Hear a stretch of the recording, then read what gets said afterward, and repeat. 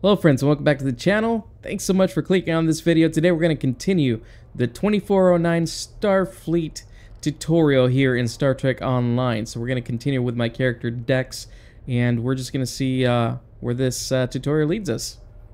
Let's talk to Alyssa Flores here. We'll hit that F key. I'm going to check in and then head for the bridge. See you there. Alright.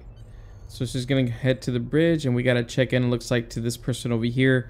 You'll notice there's a little uh, box above the person with an exclamation point that denotes that you can go ahead and interact with that person or um, yeah get your ins further instructions from that person. So we're going to go ahead and talk to this person. By the way we are on um, what's our ship called? The I forgot from last time the Balboa yeah. So we're on the USS Balboa. Um, this is a Miranda class ship. This is the shuttle bay here and if you'll remember last time, we had a really nice cutscene as we got to the ship. So now here we are in the shuttle bay. Let's check in with this officer. Looks like it's uh, Lieutenant Brickers. Name and position? I have your record right here. Welcome aboard. Captain Taggart is waiting for you on the bridge. Use a turbo lift in the nearby quarter. It will take you directly there. All right. Let's continue.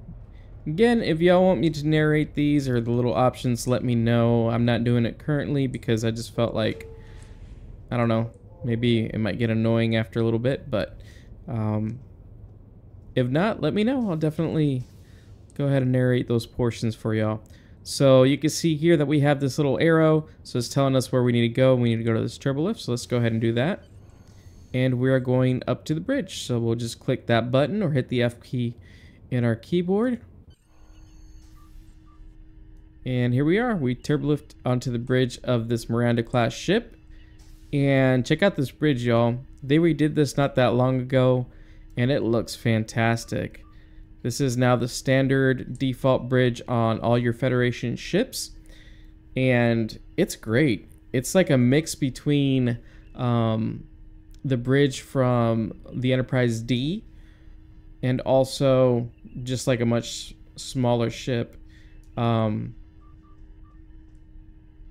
I don't know. I say smaller ship, but it looks kind of big at the same time. Look at all these different consoles and places to sit. So they actually probably made the bridge even bigger, but it looks great. Here you can see the Starfleet symbol. You can see the view screen.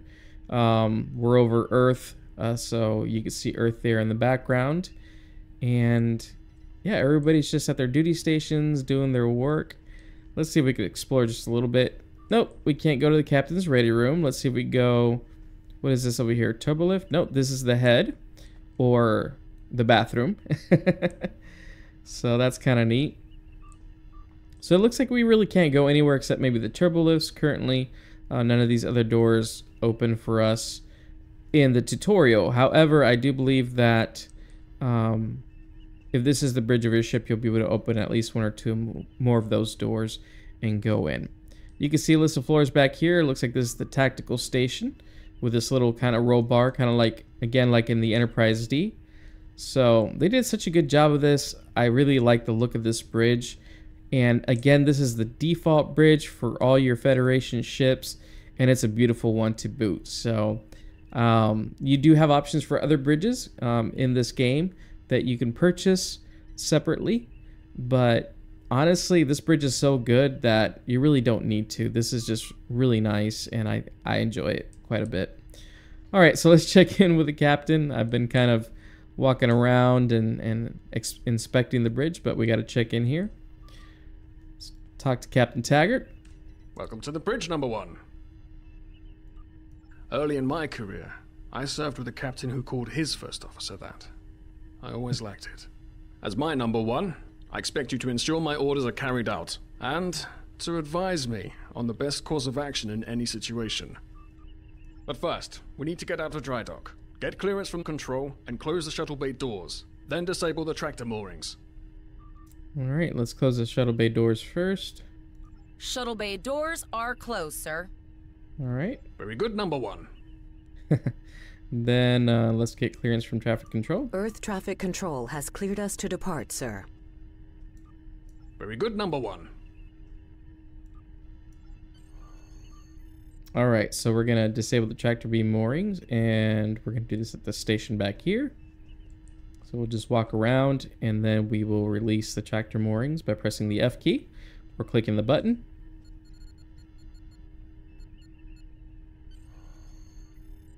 All right, so we did that already. And let's talk to Captain Taggart again. Potter, take us out. One quarter impulse. All right, this is kind of neat. I have two options to reply here.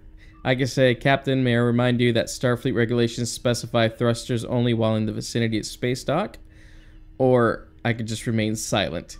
So, for those of you who've seen um, The Undiscovered Country, Star Trek The Undiscovered Country, which is the sixth movie in the series and the last one um, that included the entirety of the um, the original series crew. Um, there's a part where a Vulcan officer, I believe is Laris or something like that, um, where you know Kirk says the same thing to take take the ship out at one quarter impulse power, and then she corrects him and says, "Hey, regulation says that you're not supposed to do that." And then uh, Spock reminds her that he's that Kirk is the captain and just do it, basically. So here we have the option to be like like that Vulcan officer or that other Vulcan officer from from the undiscovered country, or we could just remain silent. In my case, I'm just gonna remain silent because I'm like he's a captain. If he wants to go out quarter or quarter impulse power out of dry dock, let's do it. All right, now looks like I have to sit in the chair. So the way to do that is, I mean, you could be facing it, it doesn't matter. But you see that below the, um, basically the pointer, you see a little chair icon on it. If you, I believe it's right click, yeah, if you right click on the chair, it will sit your character. Cleared from dry dock, Captain. Good. Let's start with something easy. Set course for Vulcan. Course laid in, sir. Engage. And there goes our little ship, the Balboa.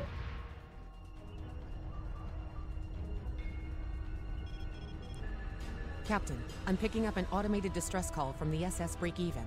Their warp core is failing, and they require immediate assistance.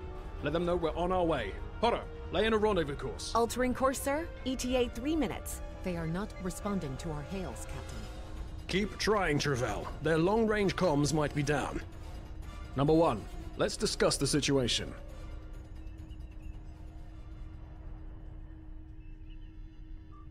Oh, where'd An the captain's chair unexpected go? situation, number one. But such things come with the job. What do you think we should do? Well, for a second there, it looked like he was sitting on the floor and the chair was missing. So I guess it's just one of those little bugs in the game. Um, all right, he's asking me what we should do. I'll ask him if it's a test. Absolutely not. We're the closest ship to the break even, so it's our duty to assist. Indeed. We also don't know what led to this situation either. It could have been an accident or the results of an attack. What do you advise? So here you have three different options depending on how you want to roleplay.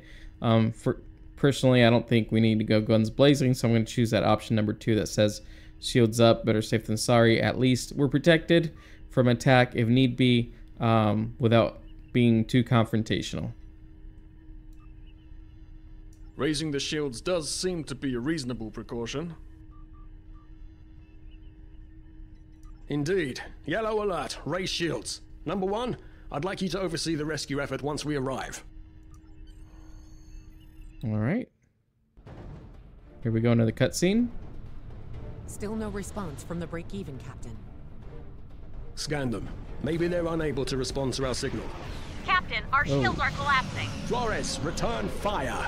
Pattern Delta Sierra 9. Well, there go the shields. Not hmm. good. Engineering to bridge. Go ahead, engineering. Sir, the Borg are here. We need help.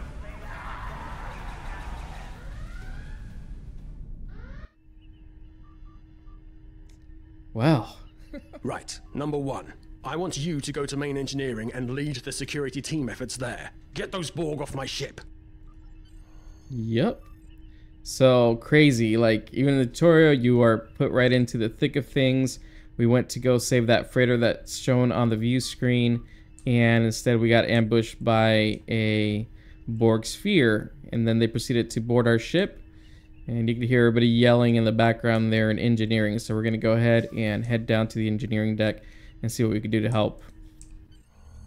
Sorry for the emergency stop, number one, but there's a problem in the transporter room. The Borg are trying to take it over, most likely to prevent us from using site to site transports within the ship. Head to the armory near your position. Arm yourself and any security officers you find on the way. Once you're armed, I need you to go to the transporter room and secure it as soon as possible. We're holding our own so far, number one, but our success depends on securing the ship. Do what you can to get the Borg out of critical areas. You need Yes, to unlock sir. the armory. Yeah, I'm coming. so check it out. You can see the damage in the halls and some of this plasma coming out. So let's go ahead and go where the security officers are at and unlock this door. Enter the command code. I'm about to. Very insistent uh, Andorian there. We should grab rifles to fight off the Borg. All right. So we're going to go ahead and do that here. Again, you have these little arrows, points you to where to go. Also, the console lights up when you're near it. You know that you could interact with it. All right, we get this little cool, uh, cool little, um, what is this, uh, phaser locker. We're gonna go ahead and grab a rifle. We already have a phaser gun or phaser pistol that we got earlier from doing that, um, that training before, that tactical training in the holodeck, and now we're gonna get a rifle. This is what I'm talking about. Locked, loaded, and ready to rock and roll. that Andorian is super eager. All right. Oh, actually, that was the human dude. He was super eager. All right. So we have the rifle. However, we don't have it equipped. So let me show you how to do that. So in order to go into your inventory, the inventory is say like a locker that holds all your stuff, right? One of the lockers. You have one on your person, and then you have one that's part of basically of your ship. But let's go ahead and hit the I key in the keyboard. That's the I key. And then your inventory opens up. And here you can see how many slots you have. We have a limited amount of slots, but more can be purchased in the game as you go. And more will be given as you level up also. So right here we can see that we have the rifle. It's a level one rifle. Um, it's a common, and I'll talk to you a little bit about the different uh, types of weapons and and um, you know between common and ultra rare things like that. But for now, we're just gonna go ahead and equip the rifle. Now, in order to equip it, you're gonna want to go ahead and open up your character um, window. In your character window, you could open it up by hitting the U key on your keyboard. So the U key opens up your character window, and right here you can see that there are different slots that your character has. You have kit module slots, and we could talk about those later. We have a kit, um, a kit slot here, and then we have body, shield, weapons. You have two slots for weapons, and then you have this area called devices, and you have four slots for that. Now right here you can see that one of the devices that we have is a small hypo spray. We have three of those. You know that we have three of those by the number that's right down below it. You see a number three there, so that tells you how many you have. These are what, what are called consumables. If they have a number underneath, it's a consumable device. It means that once you use one of those, you'll have two left. And then once you use up those two, you'll have none left unless you gather more in the game. So just be aware of that. Now, if it doesn't have a number underneath it, that means you could probably use it over and over again. Now, some of them have a time limit on it where you have to wait. It's called a cooldown. And that wait period then could be anywhere from, I don't know, two minutes. It could be seconds. It depends on the device, right? So maybe you have a device in your inventory here or a device here on your character that you could use and that'll help you out. But then after it helps you out, you got to wait two minutes for it to load up again for you to be able to use it. Just keep that in mind for, for the different devices. So we're going to take this rifle from our inventory. We're going to put it in our character and we're just going to slot it right here into that one um, slot. it's going to ask you, it's going to say if you equip the phaser rifle, you won't be able to trade it. That's okay. We don't need to trade it right now. So we'll click Status OK. report number one. About to leave the armory. Very well. We're reading Borg life signs in your area. Looks like you'll have to fight your way to the transporter room. Good luck. All right. All right, so we're gonna go and help help out. Now, the way to equip your rifle is if you'll notice right down here in this tool toolbar, you'll see that the weapon in the forefront is a phaser beam pistol. If we want it to be the rifle and we want to use a rifle, you're gonna hit this key to the left of it that says switch weapons. If you hover over it, it says switch weapons. There's one underneath it that just says holster or draw your weapon. We're gonna go to switch weapons. And then there you go. You see that you have your rifle equipped. There's a key also on the keyboard to be able to do that. And I'm trying to remember what it is. Okay, it's the Z key. So the Z key, Z as in zebra, on your keyboard will allow you to also go ahead and switch your weapons. All right, so we're going to do the rifle again because that's what we were asked to use and equip. Now there are two firing modes on here. The first one is just a bolt setting. So the bolt is just going to fire a bolt of energy at the enemy. Um, and then the secondary firing mode on here is called sniper shot. So if you remember the hand phaser, the secondary one was like a stun beam to stun your target. Well, in this case for the rifle, it's going to be a sniper shot. Now the sniper shot takes longer to fire because it's like if like you're a sniper, right? You're going to take your time on it. However, it's going to do slightly more damage. So there's a trade-off, right? You won't be able to shoot quite as often. However, the shot that you do um, fire will be um, something that's a little bit more powerful. So we're going to go ahead and head out and help these security officers. Here we're on the hallway. Everything's smoking, red alert. Here we go. We got some Borg drones. Let's go ahead and fire at them. I'm hitting the one key for the bolts. So same kind of thing that we did with the hand phaser. The number one key to fire the first um, firing setting. And if you want, you could hit the two key for the secondary firing mode. For this big old drone right here, the tactical drone, I'm going to go ahead and do the number two key.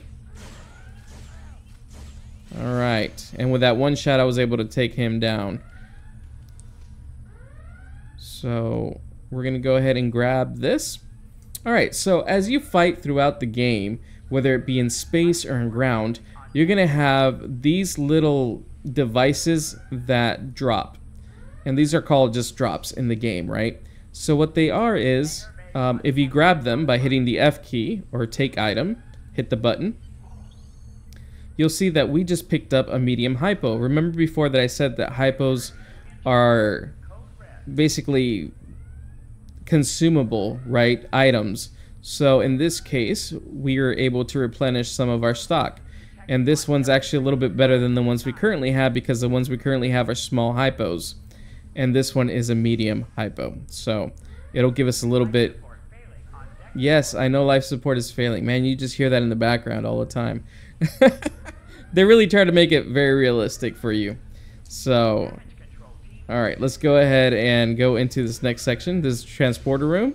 All right, let's help this officer out.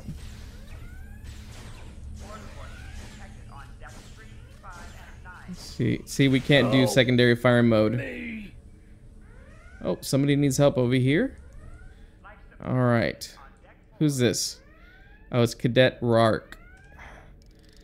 So he's one of the cadets that we interacted with earlier at the academy. Thanks. You saved me from a fate worse than death. I'll get back to manning the transporters. That's going to be a problem. We took some hard hits in the initial salvo, and there are hull breaches in the corridor. I don't think you can make it there. We still have main power, so yes. Yes, I think I can. Get on the transporter pad and I'll beam you there. Awesome. So Ensign Rourke is going to go ahead and beam me over to engineering. So we're going to get on the transporter pad. It's pretty cool. Very nice looking. And we're going to go ahead and beam to engineering.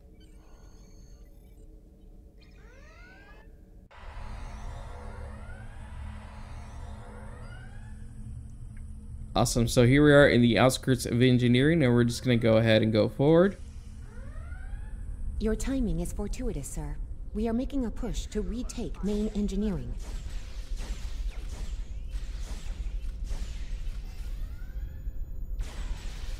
So these Borg are not particularly hard because you're in the tutorials, so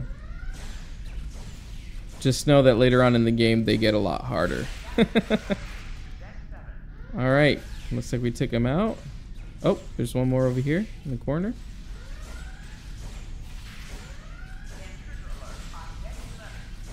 I don't know why these officers here have their backs to the enemy, but that's not a good way to fight.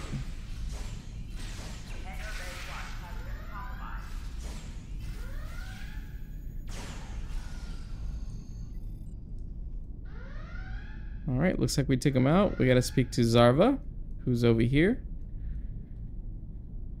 Oh, okay. I've got an idea. I saw this in a Starfleet history sim, so I'm pretty sure it'll work. I need you to prepare the plasma coolant for emergency release. Any riskier than standing around while the Borg send over more drones? I don't think so. Hurry, I do not want to be assimilated. No, thank you. Yeah, I don't want to be assimilated either. Alright, so we're going to go ahead and prepare the coolant release here. By the way, this is the warp. It's very nice looking. Not good. Not good. We need to go now. Quick, release the plasma coolant.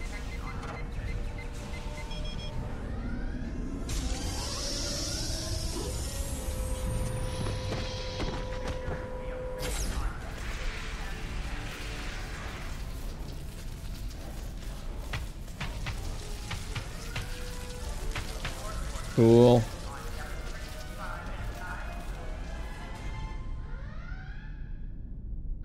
It worked! Data, you mad android genius! It actually worked! I love you. Bet you're glad I was paying attention in history class that day. That plasma coolant really did a number on the Borg. They won't be coming back here anytime soon. That's good.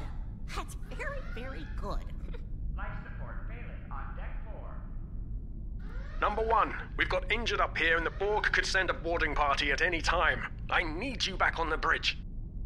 Go. See to the bridge. We will secure main engineering. Alright, sounds good. So they'll stay here with Cadet Zarva, which is currently our engineer. And all the Borg that were back here are dead because releasing the plasma um, took care of all their organic matter. And all that was left was the electronic components. And they can't survive that way. We'll turbo lift to the bridge now. Now that was really cool because that was um, basically a callback to Star Trek First Contact, where um, Data does the same thing to the Borg. Oh. There are Borg on the bridge.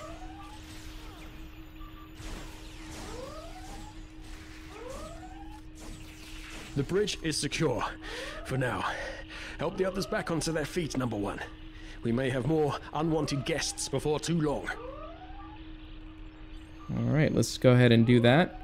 By the way, I want to show you something real quick before we do that. There is a mode um, on ground combat where you aim and then aiming allows your weapons to do better damage on ground. Just a little bit better, but still better damage than not aiming.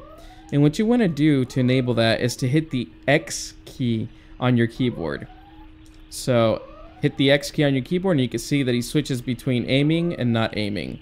So you're going to get more out of your weapons, a little bit more out of your weapons in ground combat if you're aiming them versus not aiming them. I know a lot of people, they don't do it. Um, either because they don't know or they just don't care. But it will give you a little bit more damage in ground by hitting the X key and aiming your weapon. All right, let's help out the crew. Let's start off over here with this cadet. Oh, I owe you. both of you. Thanks. That is Rasky. We met him earlier, and Tavrel we met earlier as well. Let's heal her up. You have my gratitude.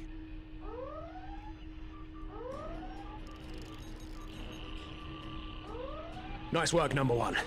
Oh, looks like that phaser training paid off.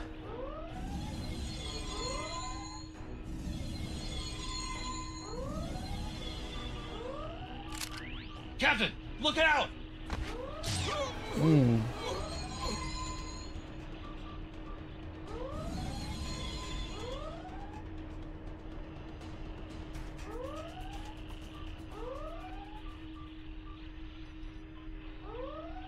Captain, the Borg vessel has gone to warp and left the system. Based on the amount of damage they sustained, it is logical to assume they disengaged in order to regenerate safely.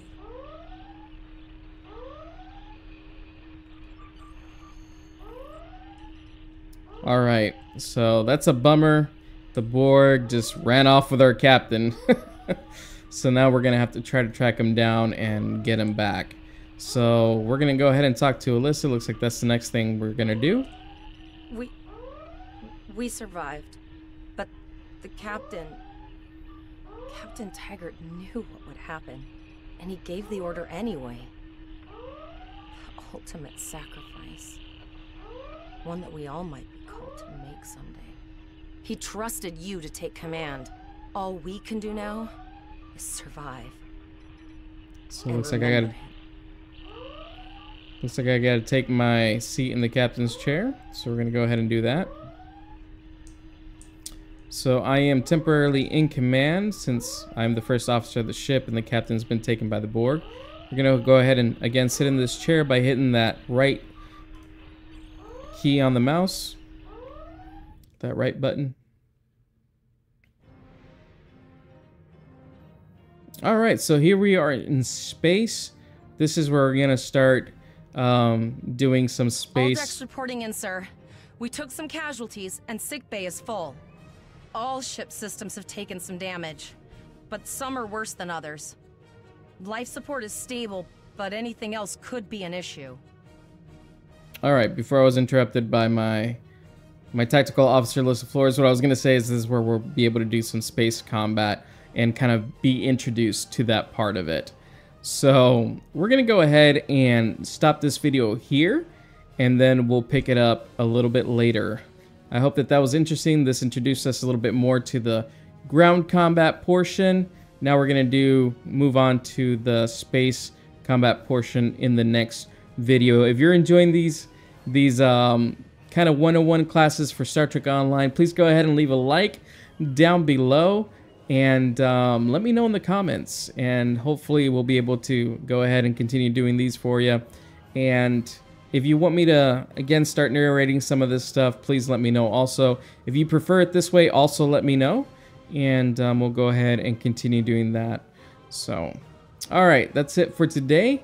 Live long and prosper, everyone. Thanks so much for watching again, and we'll see you in the next one. Take care.